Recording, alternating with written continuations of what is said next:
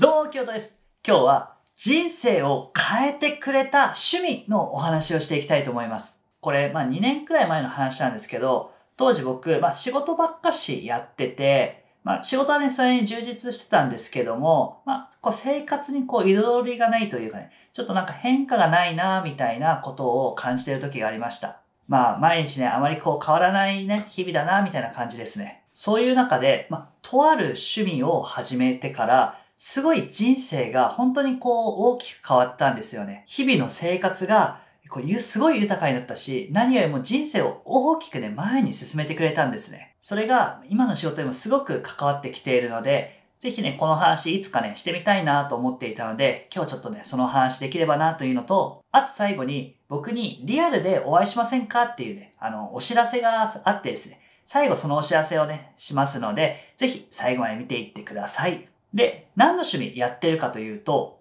ブラジリアン柔術というものになります。柔道の寝技のような格闘技ですね。で、これ、なんで始めたかっていうと、きっかけは、2年前のちょうどその時期に、柔術の世界選手権を2連覇したこう世界チャンピオンの先生が、東京のね、原宿に、天空の道場っていうめちゃくちゃ綺麗なね、柔術道場を作って、そこで柔術をね、日本に広めていくぞっていうのをやるっていうのがあって、で、それを知り合いの方からね、こうお誘いいただいて、え、えー面白そうと思って、一回ちょっとね、足を踏み入れたっていうのが最初のきっかけです。で、これね、やってみると、むちゃくちゃ面白かったんですよ。何が面白かったかって、結構ね、プログラミングと似てるんですけど、面白さが。こう、論理の格闘ゲームなんですよ、柔術って。プログラミングって、こう、論理の組み立てじゃないですか。論理を組み立てていって、こう、プログラムが動きますと。で、その時に、こうしたらうまくいくかな？あれうまくいかない。じゃあ、こうしたらどうなんだ？ああ、うまくいったみたいな。そういうところが楽しさじゃないですか。柔術もそれにむちゃくちゃ似てて、柔術って、こう、格闘技のチェスって呼ばれてたりするんですね。で、まあ、寝技の勝負なんですけど、こう寝技って、なんていうんですかね、自分がこう、技をかけます。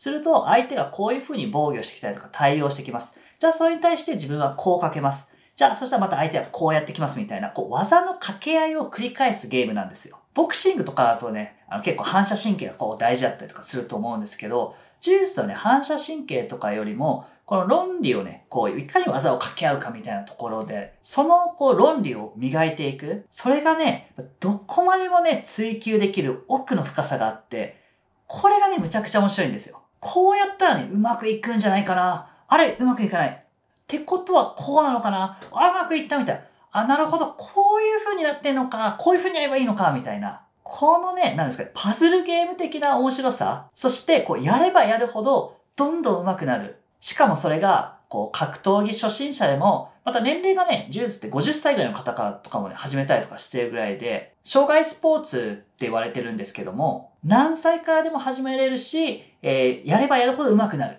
みたいなところがね、個人的にはむちゃくちゃ好きです。まあなので、こう、プログラミングにね、こう、ハマってるのと、まあ結構近い感覚でね、柔術にもね、ハマってるんですよね。しかも、えーそれに加えて、仲間、友達ができるっていうのがめちゃくちゃ良くて、柔術って普段の練習はこう1対1でこうペアになってやるんですよ。で、1対1でずっとね、ペアになってやっていくんで、むちゃくちゃ仲良くなるんですよ。必然的に仲良くなります。で、しかも、こう、みんなでこう、楽しくやっていこう、頑張っていこう、強くなっていこう、みたいなね、えーところがすごくあるので、試合とかになったら、こう、みんなで応援するし、頑張れ負けるな、今そこだみたいな。で、仲間が負けたらむっちゃ悔しがるし、勝てばむちゃくちゃ嬉しいし、なんだろうな、こう、大人の青春みたいな感じなんですよね。個人的には、サードプレイス、え、仕事、職場でも、え家庭の場所でもない、もう一つの場所、サードプレイスがあると、すごい人生を豊かにしてくれるなと思っていて、このサードプレイスっていうのはね、僕にとってはこの柔術が一つ、それに当たるんですね。で、当時、まあ、基本は仕事と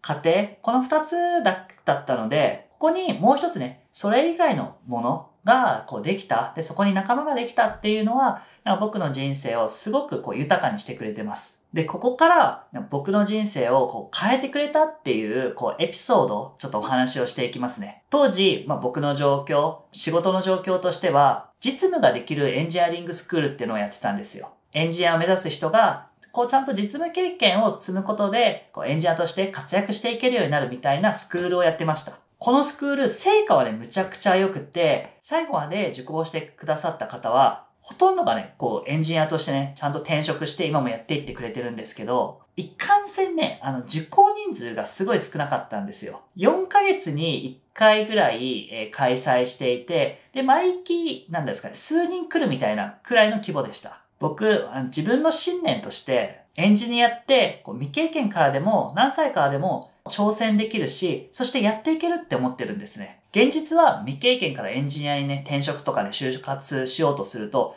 えー、経験がないからっていう理由でむちゃくちゃ落とされる、まあ、厳しい世界なんですけども、でも実際のところ、えー、実務をちゃんと半年とか、もしくは1年とか経験すれば、その後エンジニアとして活躍できるようになる方ってたくさんいて、それがたったね、半年とか1年程度の経験がないがゆえに、そもそもの門が閉ざされてしまうっていうのが、ものすごくもったいないと思ってて、そこを何とかしたいってすごく思ってるんですよね。で、まあそれを思っていて、こう、未経験の人でもね、ちゃんと実務っていうものをね、経験したら、そこの壁をね、突破できるんじゃないかっていうことで、実務ができるエンジニアリングスクール始めたんですけど、効果はね、すごくあったんですけども、一貫性人数がね、え広まらないなっていうのがすごくありました。で、まあ毎期ね、こう、いろいろと改善点があるので、こう、改善をこう繰り返しながらね、やってはいたんですけども、まあ、このまま続けてても、僕の目指す世界は実現できないなっていうのがすごくあったんですね。そういう日々の中で、まあ、ある時、柔術で試合に出ることにしたんですね。まあ、柔術1、2ヶ月に1回ぐらい、こう、大会が開催されていて、試合があるわけなんですよ。で、僕、先生からね、もうそろそろ大会出ないよみたいなことよく言われてたんですけど、ずっと断ってたんですよね。興味はあったんですけど、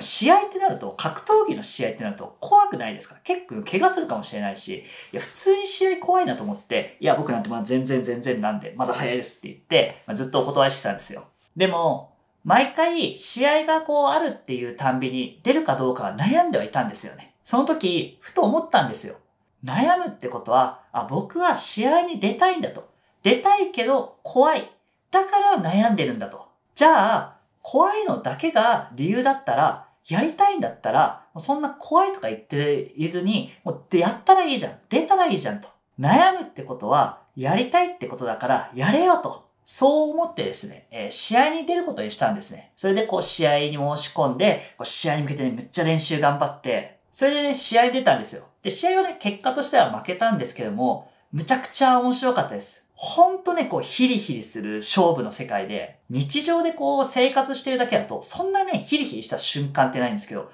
格闘技の試合って、まあ、命をかけているというか、まあ、ちょっと命をかけてるは実際は大げさなんですけど、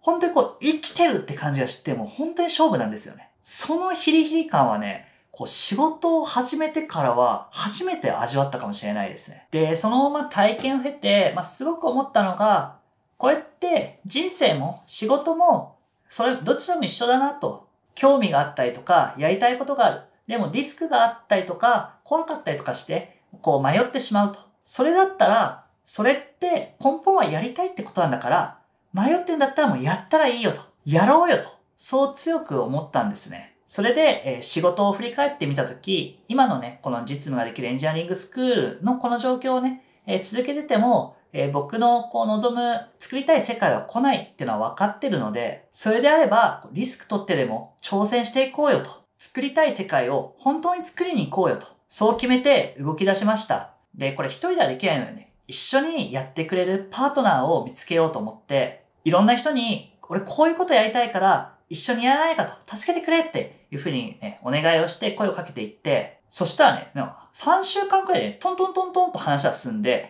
共同経営者がね、爆誕したんですよ。で、その共同経営者と一緒に、じゃあこの実現したい世界実現するには、どういう形だったら一番それ実現できるかっていうのをずっとこう議論して、で、その結果生まれたのがアプレンティスというサービスになります。アプレンティスというのは内定直結型のエンジニア実習サービスになります。無料で学習でき、最終的には企業でエンジニアとして実習を行い、その後正社員のエンジニアとして活躍していく、羽ばたいていくっていう、そういうサービスになります。これおかげさまですごい反響をいただいていて、え実務ができるエンジニアリングスクールの時と比べると、受講生数でいくと、実務ができるエンジニアリングスクールの時と比べると、え10倍以上増えていて、で、応募数でいくとね、20倍以上増えてるんですよ。本当にあの、たくさんの方から応募と受講いただいてて、ありがとうございます。で、そこに踏み出せたのは、本当に柔術が大きなきっかけなんですよね。柔術を通じて自分の弱さと向き合って人として強くある怖いことがあってもやりたいことがあるなら作りたい世界があるならそこへ進んでいく。そういう強さ人としての強さっていうのを柔術によってすごく培われてるなと思ってます。はい。というところでえ冒頭にねこっからねあのちらっとお話ししたえ僕とリアルに会えますよっていうところのお知らせをしていきます。12月17日日曜日。東京の原宿で山浦柔術体験会及び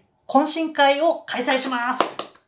僕のこう関連の方、基本はまあエンジニアの方とか、あとプログラミングを学んでいる方とかがまあメインになってくると思うんですけど、その方たちだけお呼びして、柔術の体験会をやって、その後こう懇親会に行くっていうこうイベントになります。参加費なんですけど、柔術の体験会のところは無料で、懇親会のところは、まあちょっと正確な額決まってないんですけど、おそらく1人5000円くらいかな。で、えー、一緒にワイワイ飲み行ければなと思ってます。12月17日日曜日の夕方の5時から行います。僕、YouTube 始めてから今まで一度もこうリアルで会いましょうみたいなあのことやったことなくて、で、今後も今のところやる予定はなくて、今回、まあ、初めて こういうことやるので、皆さんと会えるのすごく楽しみですし、すごくあの、レアな回になるんじゃないかなと思います。ぜひ、僕と会ってみたいとか、あと話してみたいとかいう方や、もしくは今日の話聞いて柔術に興味を持ったっていう方とぜひお会いしたいですし、柔術興味なくてもね、えもうこの日って単純にこう体を動かして、で、こう、その後ご飯行って飲み行って、まあワイワイ楽しく過ごしましょうっていう感じの回なので、気軽に、そして一人でも多くの方とお会いできると嬉しいです。ちょっとでもあの興味あったらぜひ一歩踏み出してお会いしましょ